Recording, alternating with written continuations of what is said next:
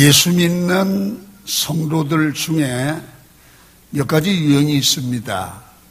썬데이 크리스찬, 그러니까 주일날만 교회 오셨다가 그냥 이렇게 아무 반, 뭐, 하나님을 만난다든지 변화가 된다든지 그런 것 없이 그냥 주일날을 종교의식을 하고 가시는 분이야. 또 어떤 사람은 교회에 오셔서 이 체면 치료하는 분도 있어요. 그리고 어떤 분은 정말 살아계신 하나님을 믿고 그 하나님과 교제하고 그분이 기름 부어주시는 능력을 받고 정말 하나님이 함께하는 표가 있는데 나도 알아요. 그걸 남도 안다고요. 그래서 이 사람은 약한 것 같은데 강하죠. 무능한 것 같은데 능력이 있어요. 이 사람을 하나님의 사람이라고 부르고 세상이 감당하지 못하는 사람 그렇게 표현을 해요. 그리고 오늘 성경에 나타난 베드로와 요한이라는 사람이 세상이 감당이 안 되는 하나님의 사람이고 하나님의 능력이 그들과 함께하는 그런 사람이었습니다. 오늘 이 베드로와 요한을 우리가 생각하면서 오늘날 우리 예수 믿는 우리 강은교회 교인들이 이러한 능력 있는 신앙생활을 할 수 없을까 그런 생각을 하면서 이 말씀을 묵상하고 은혜를 나누는 중에 여러분들이 세상이 감당할 수 없는 능력의 사람으로 변화되는 그런 역사가 있기를 축원합니다. 오늘 본문을 대략 소개해 보면 사내들인 공회에서 풀려난 베드로와 요한은 또다시 예수의 부활을 힘껏 증가합니다. 사내들인 공회에서 풀려나면서 조건이 뭐냐면 다시는 예수의 복음을 전하지 말라. 그렇게 말을 듣고도 그 말을 무시하고 복음을 전하는 겁니다. 여러분, 이상한 것은 주님의 복음은 핍박을 받으면 받을수록 더욱 강력하게 퍼져나가요. 그리고 능력이 나타나고 강력해지고 빛이 나고 사람들이 변화되고 살아계신 하나님의 증거가 복음이 가는 곳마다 나타나는 줄로 믿습니다, 여러분. 그래서 하나님의 복음의 불은 세상에 누구도 끌 수가 없다는 거예요. 그리고 복음의 사람을 옥에 가둘 수 없다는 것이 오늘 사도행전 5장에 잘 나타나고 있어요. 여러분 본문 14절에 보니까 공회에서 불려난 베드로와 요한이 복음을 전하니까 믿고 축계로 나오는 자가 많은데 남녀의 큰 무리더라. 그 말은 수를 셀 수가 없을 정도로 복음을 전하자마자 사람이 교회로 몰려왔다는 거죠. 엄청난 역사가 나타나는 거예요. 15절부터 16절에 보면 사람들이 병든 자를 메워오는데 인산인해를 이뤘다고 기록을 해요. 그리고 베드로의 그림자라도 만지면 병이 낫는 거예요. 그래서 막 온통 북새통을 잃었어요. 그래서 이 말을 정리를 하면 하나님의 은혜와 성령의 기름 부음이 철저하게 이루는 거예요. 놀라운 일들이 구석구석에 나타나고 있다는 거죠.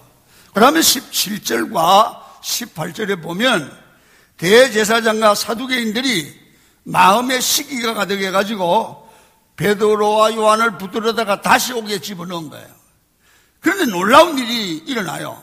무슨 일이냐면 주의 사자 천사가 옥에 갇혀 있는 베드로와 요한을 찾아가서 옥문을 열어줬어요. 베드로 빨리 나라. 그래서 베드로와 요한을 내보내 주면서 성전에 가서 생명의 말씀을 전하라는 거예요. 여러분 21절과 28절에 성전에서 복음을 전하는 것을 본 대제사장과 사두개인들이 베드로와 요한을 다시 잡아다가 오게 넣으려고 해도 여러분 많은 백성들이 와서 그를 존경하고 그에게 병을 치료받고 그리고 변화받으니까 오늘 성경은 이렇게 말해요. 저 무리들이 예수를 잡아가면 아, 사도들을 잡아가면 돌을 던질 거다. 밀란이 일어날까 두려워서 다시는 예수의를 전하지 말라고 경계하고 말았다는 거예요. 다시 말하면 베드로와 요한은 주먹으로 이긴 게 아니고 소리를 질러서 이긴 게 아니고 그에게 하나님의 능력이 나타나니까 사람들이 하나님의 사람을 함부로 못하는 권위가 나타났다는 거죠. 오늘 여러분들에게도 예수를 믿는 우리에게는 이런 능력이 하나님이 함께하는 표가 나타나기를 축원합니다. 이게 예수 믿는 거예요. 여러분 오늘 본문에 나타나는 베드로와 요한은 한마디로 세상이 감당하지 못하는 사람이고 한마디로 사람들이 권력자가 옥에 가두어도 이 사람을 가둘 수가 없는 그런 사람이라는 거죠. 여러분 우리가 사는 이 세상은 없는 감옥과 같은 세상입니다. 여러분 사실은 내가 자유한 것 같지만은 영적으로 자유하지 못한 분들이 많아요. 그리고 정서적으로 자유하지 못한 분도 많고요. 세상 근심과 걱정에 눌리고 매여서 영적으로 노예처럼 살고 있는 분들이 이 세상에 너무 많다는 거죠. 우리는 상살 없는 감옥이 바로 영적이고 정신적인 매임, 자유를 잃고 있는 사람들을 말한다고 하면 이분들에게 주님의 은혜를 드리보면 이분들이 주 안에 나오면 자유하게 되는 줄로 믿습니다. 이들을 하나님의 사람들은 이런 악한 영들의 세력들이 가둘 수가 없다는 거예요. 오늘 본문에 나오는 베드로 요한은 이 세상에 누구도 그를 감옥에 가둘 수 없는 사람입니다. 아무리 기쁜 감옥에 가둘지라도 그는 하나님의 능력으로 옥문을 열고 걸어 나오는 사람이란 말이에요. 권력이 어떻게 할 수 없는 사람이란 말입니다. 그래서 세상에 사내들인 공연들과 권력자들도 하나님의 사람을 하나님이 함께하는 사람을 성령 받은 사람을 감옥에 가둘 수가 없어서 놓아 주는 것이다. 여러분 오늘 하나님이 함께하는 표가 있는 사람, 하나님의 능력을 가진 사람들을 보면서 오늘날 우리 강은의 성도들에게 여러분들과 저에게 이런 능력이 나타나면 좋겠습니다. 여러분, 이런 능력의 사람이 되어보고 싶은 생각이 있으시면 아멘 하시기를 바랍니다. 여러분, 세상에 누구도 감옥에 가두지 못하는 세상이 감당하지 못하는 기왕의 예수를 믿을 바야 능력 있고 하나님의 기적과 역사가 따르는 근세 있는 권위 있는 크리스찬이 되기를 축원합니다. 얼마나 많은 사람들이 무능력합니까? 신앙생활 하면서도 세상 소리나 하고 교회 와서 인간적인 생각을 하는 분들이 얼마나 많습니까? 여러분 그렇게 하시면 안 돼요. 우리는 우리는 말로 지식으로 세상을 이기는 자가 아니라 복음으로 하나님의 능력으로 승리하는 자가 되기를 축원합니다. 자 그러면 본문은 어떤 사람이 어떤 사람이 어떤 믿음의 사람이 어떤 신앙생활을 하는 사람에게 하나님이 함께 하셔서 세상이 감당하지 못하며 옥에 가둘 수 없는 사람이 되게 하는지를 본문을 통해서 배워보려고 합니다. 이걸 잘 배워야 우리도 세상을 이기는 자, 악한 세력들을 이기는 자로 참 자유를 누리는 믿음의 사람이 될 줄로 믿습니다. 본문이 말하는 옥에 가둘 수 없는 사람의 첫 번째 조건은 뭐냐 하면 성령이 충만하여 하나님이 함께하는 표가 있는 사람이다. 성령의 은사가 나타나는 사람이라 그 말입니다. 사도행전 4장 13절에 보면 베드로가 어떤 사람인지를 잘 설명을 합니다. 여러분 베드로는 원래 학문이 별로 없어요. 가방끈이 짧은 거죠. 그리고요 권력이 사회적인 권력도 없어요. 그리고 돈도 없어요. 그리고 그는 성격이 거칠어요. 바닷가에서 자라면서 고기를 잡아먹는 어부 출신이에요. 그러니까 말도 거칠지요. 그리고 보잘 것 없는 갈릴리 해변에서 성장해 왔어요. 그러니까 본 것도 들은 것도 많지를 않다는 거죠. 그러나 오늘의 베드로 성령 받은 후에 베드로는 세상이 감당할 수 없는 대단한 사람이 되어 있는 거예요. 여러분 어떤 권력도 감당이 안 돼요. 세상의 힘으로도 감당이 안 되고 잘난 사람도 감당이 안 돼요. 여러분 그를 옥에 가두지 못하는 사람이 누구도 그를 구속하지 못하는 그런 사람이 되어 있어요. 왜 그럴까요? 오늘 이 사람은 다른 거 다 없어요. 오늘 사도행전 2장에서 성령이 충만한 사람이었다는 거예요. 성령의 불을 받았다는 거예요. 하나님이 함께하며 하나님이 책임지는 사람이 되었다는 거예요. 여러분 베드로가 언제 이런 사람이 되었나요? 오순절에서 성령을 체험한 후 하나님이 함께하는 사람, 인생의 놀라운 변화를 경험한 사람입니다. 사람은 한 번은 언젠가는 성령의 기름 부음을 받고 삶의 목적과 가치관이 변하는 대변화가 일어나야 되는 겁니다. 여러분은 늘 말씀을 하지만 기독교는 변화의 종교입니다. 이 사람이 죽고 새 사람이로 거듭나야 될 줄로 믿습니다. 여러분도 오늘 아침에 이런 능력의 사람, 성령의 사람으로 변화되시기를 축원합니다. 세상에 누구도 나를 넘어지게 하거나 망하게 하지 못하며 나를 옥에 가두지 못하게 하는 나를 슬퍼하게 하지 못하게 하는 그런 하나님의 사람이 될 수 있으면 좋겠습니다. 여러분 베드로는 힘이 없고 무식하고 세상 사람들과 다른 게 없고 별 볼 일이 없는 사람이지만 성령이 함께하는 사람이 될 때 천하무적이고 누구도 그를 감옥에 가둘 수 없으며 감당할 수 없는 그런 사람이 되었어요. 여러분 그렇습니다.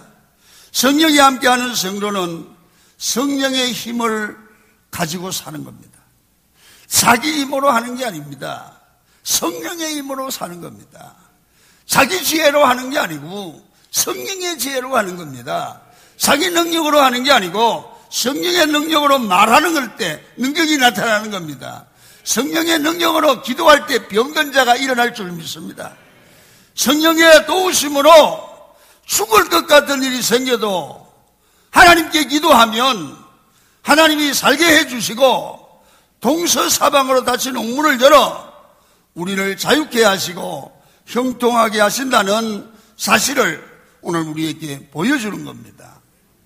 여러분, 베드로가 어떻게 성령님이 함께하는 사람이 되었을까요? 그는 평상시 별 볼 일 없는 사람이었지만 하나님의 말씀을 부활하신 주님이 말씀하시는 걸 들었어요. 예루살렘을 떠나지 말고 약속하신 성령을 기다리라. 그 약속의 말씀을 붙들었어요. 그 약속을 믿었어요. 성령 여러분, 우리가 이 세상 살다 보면 이러면 하나님 말씀을 들을 때 감사히 막 마음에 와 닿는 말씀이 있어요. 그 말씀을 붙들고 그 행동을 하는 거예요. 거의 베드로는 거의 확 닿았어요. 그래서 그걸 붙들고 기도하다가 성령을 받았잖아요. 여러분 이런 하나님의 말씀이 약속이거든요. 말씀의 약속을 붙들고 기도하는 여러분이 되기를 축원합니다. 오늘 이렇게 예배를 드리시면서 오늘 오늘 목사님이 하시는 말씀이 꼭 내게 주시는 하나님의 음성 같다. 내가 저 음성을 붙들면 나도 인생에 변화가 오겠다.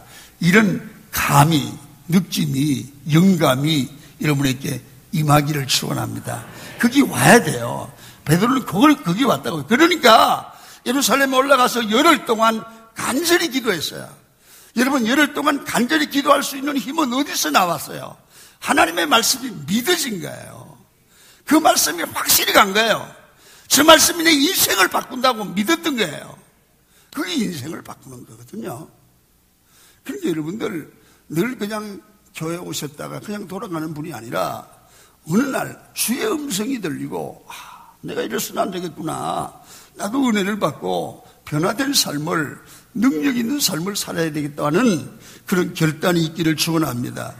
그래서 이게 와지니까 간구가 되는 거예요. 간구가 믿으시니까 하나님의 약속이 믿으시니까 간구가 되고 간구가 되면 응답이 믿어지니까 기다리는 거예요. 때 성령이 하나님의 때가 되니까 임해 주셨고 능력과 은사를 주셔서 세상이 감당하지 못하는 능력의 사람으로 변화된 거예요. 여러분 이 베드로 어부 출신 베드로 그냥 두면 고기나 잡아먹다가 이름 없이 끝날 어부가 성령 받고 변화되니까 역사적인 인물이 돼요. 얼마나 예, 이게 돈으로 환산할 수 없잖아요, 그죠?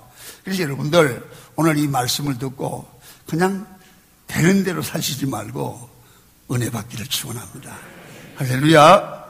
두 번째는 29절을 보면 오늘 본문이 29절을 보면 베드로와 사도들이 대답하여 가로되 사람보다 하나님을 순종하는 것이 마땅하니라. 그런 얘기를 해요. 이 말은 무슨 말이냐면 이 사람은 하나님의 말씀을 듣고 말씀이든지 그대로 사는 순종형 교인이었다는 거죠. 여러분, 교회 안에는요,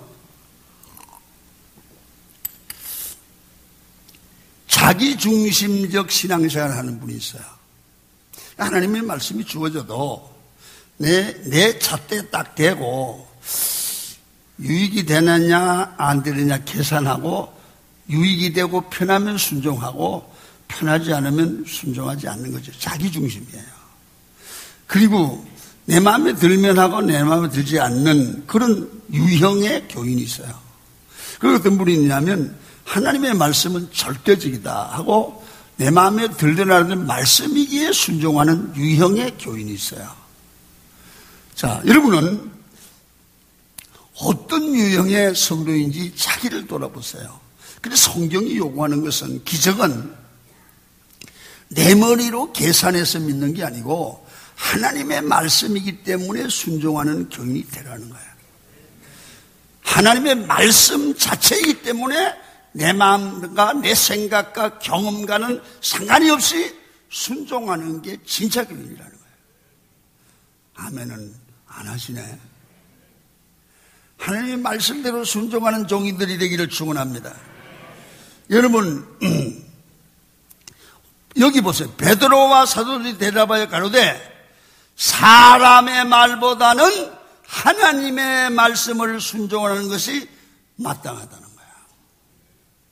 사람의 말보다는 하나님의 말씀에 순종하는 것이 자기들의 생각이라는 거야.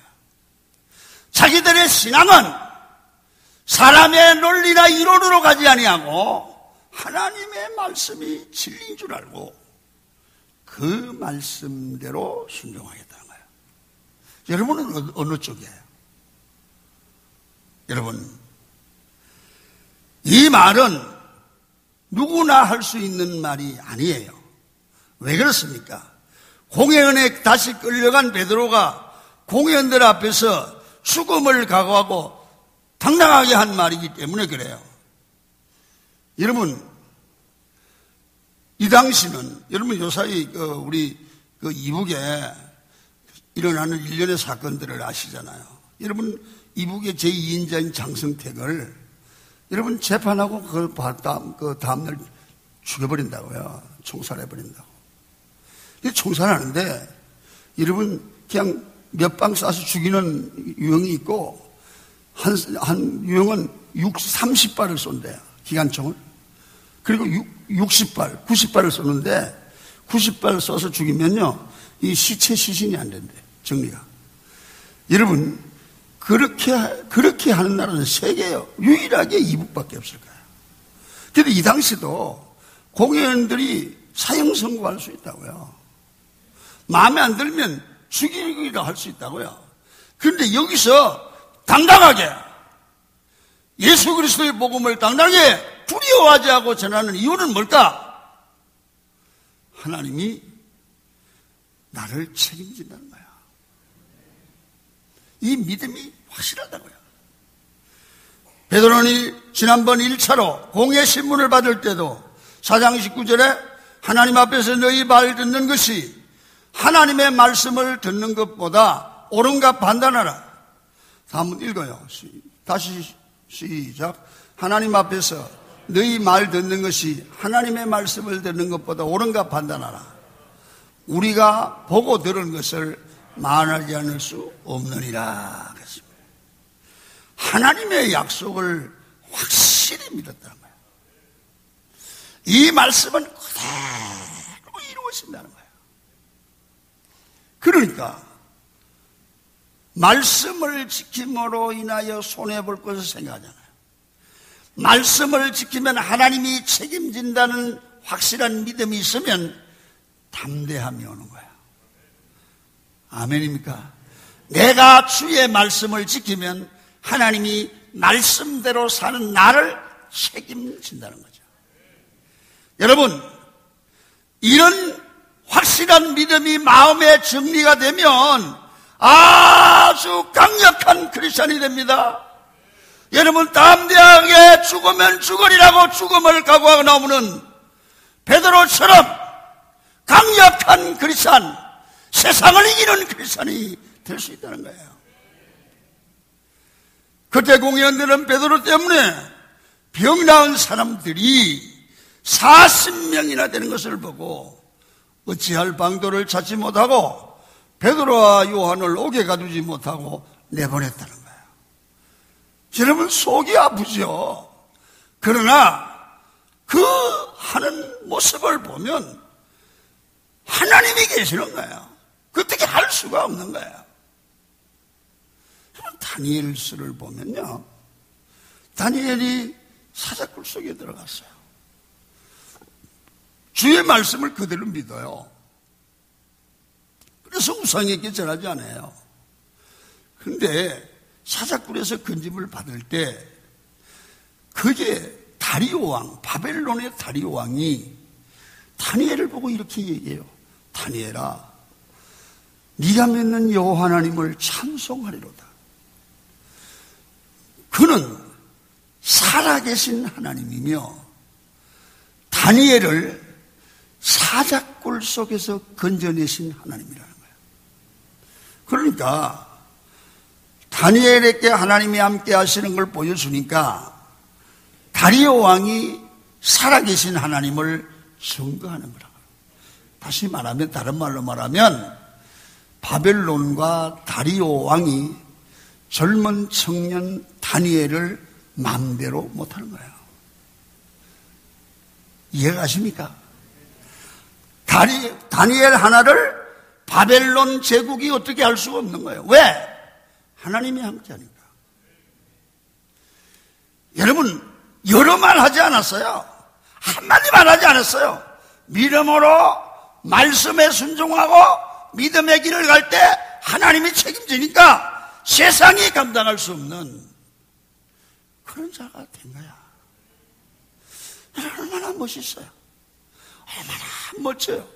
우리가 해보고 싶은 신앙생활 아니에요? 우리가 이렇게 예수 믿으면 안 좋겠어요, 여러분? 왜 우리는 안 될까요? 안 되면, 안 되면, 되는 방법을 찾아야 돼요. 한번 이건, 인데 설교 시간에 쓰는 거 아니지만 한번 써먹어 보려고 그래요.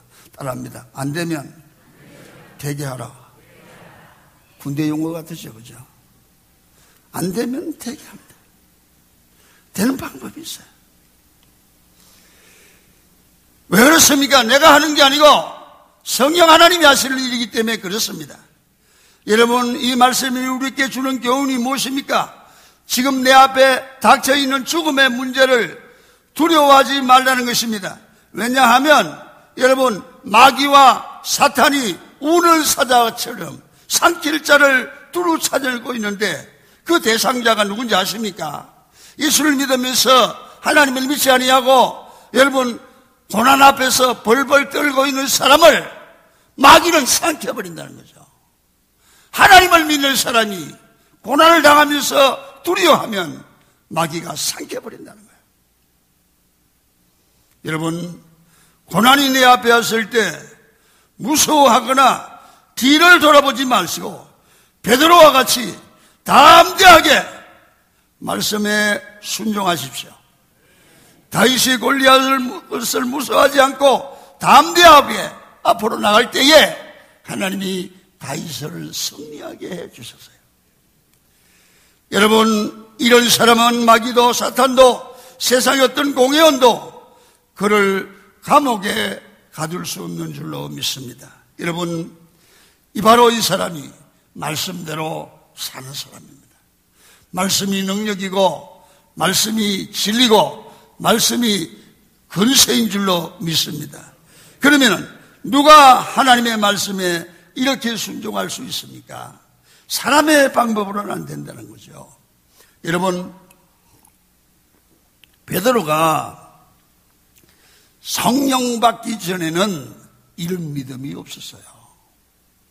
근데 이 말씀을 순종할 수 있었던, 말씀대로 살 수 있었던 것은 성령 충만하게 은혜를 체험하니까 성령께서 베드로를 붙들어 주시는 거예요.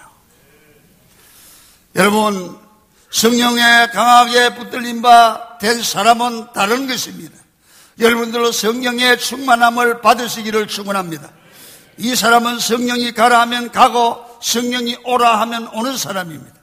여러분이 성령이 죽으라 하면 죽음의 길이라도 가게 되는 것입니다. 그런 사람은 성령과 동행하는 사람이요 하나님께서 책임져 주는 사람이고 세상에 누구도 그를 오게 가둘 수 없는 권세 있는 사람이죠. 여러분 믿는 사람들 중에는 성령과 동행하는 것 같이 보이는 사람들이 있어요.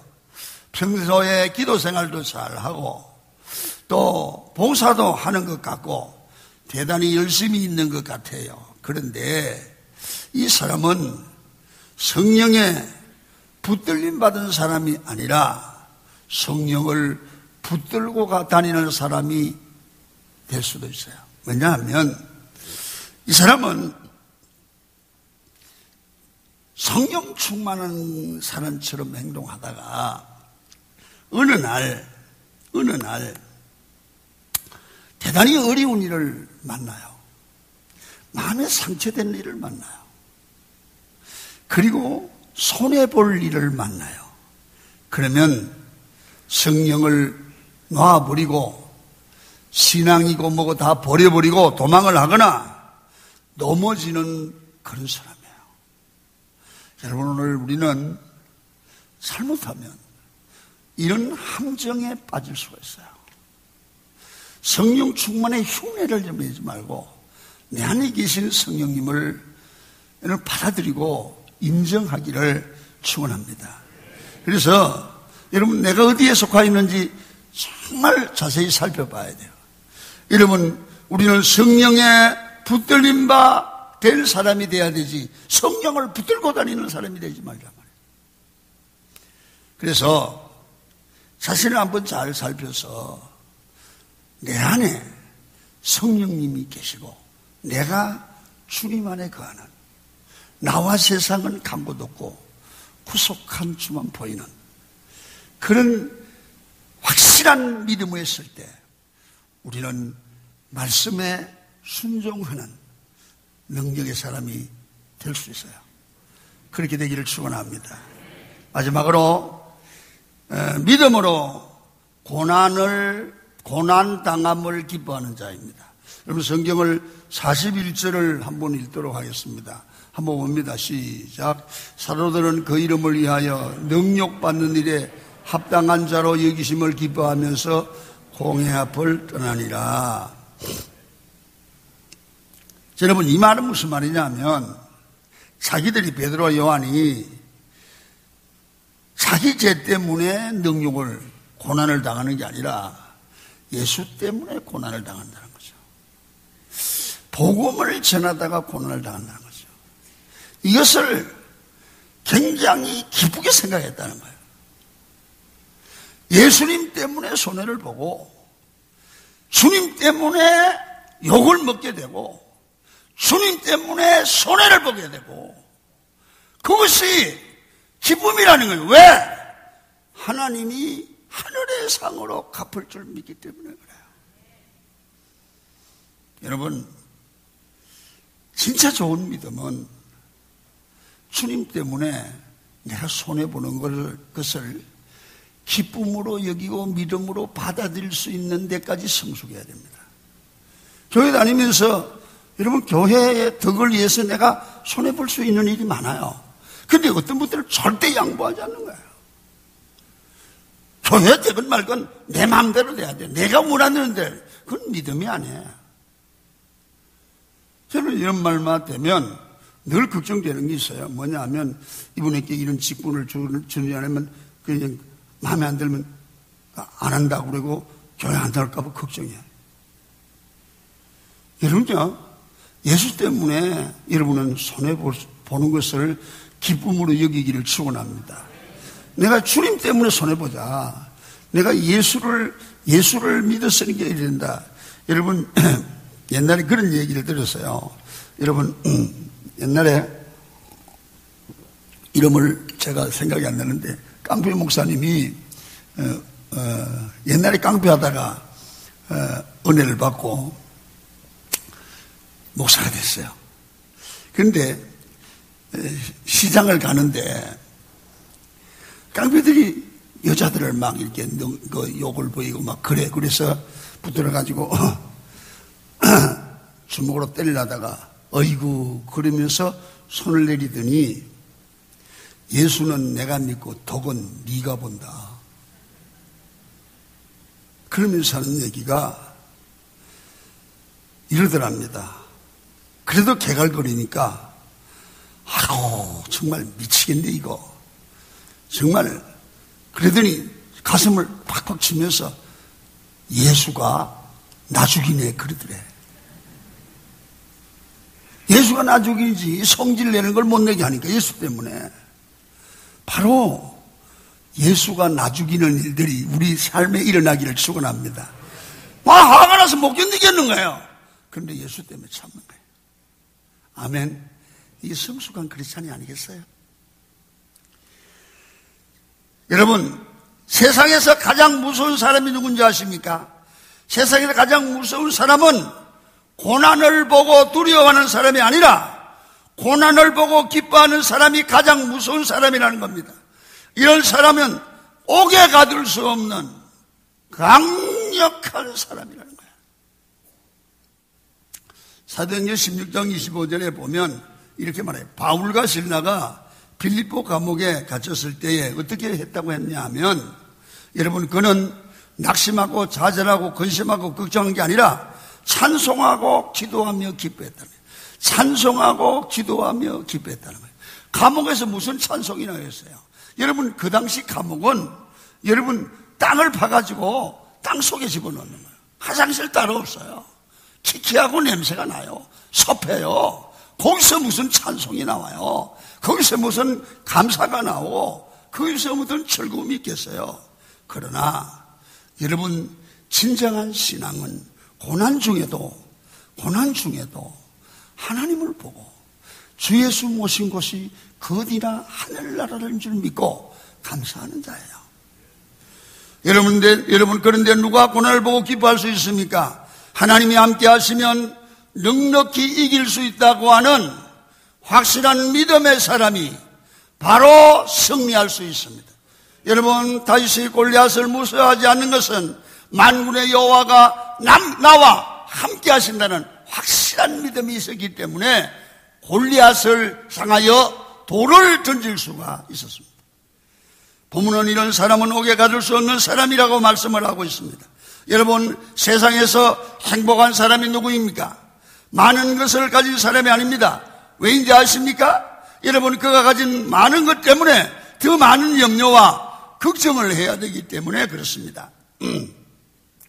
세상에서 가장 행복할 수 있는 사람은 가난 중에도 고난 중에도 기뻐할 수 있고 감사할 수 있고 주님을 만날 수 있고 기도할 수 있는 여유를 가진 사람입니다.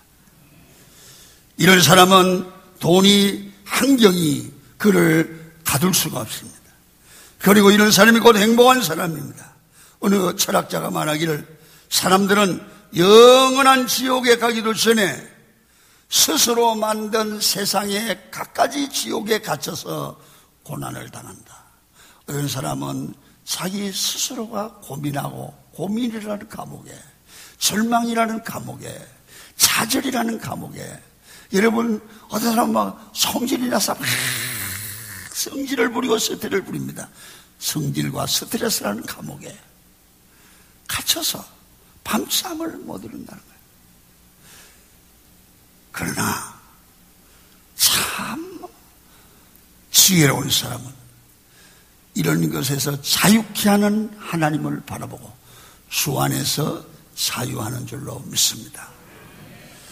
여러분, 이 세상은 지옥의 그림자입니다. 그러나 우리 믿는 사람들은 이 지옥 속에서도 현재의 천국을 누리고 사는 성도가 되어야 됩니다. 지옥을, 지옥 같은 환경을 천국으로 만드는 사람, 세상이 감당할 수 없는 사람이라 그 말입니다. 우리는 그런 사람이 되어야 된다 그 말입니다.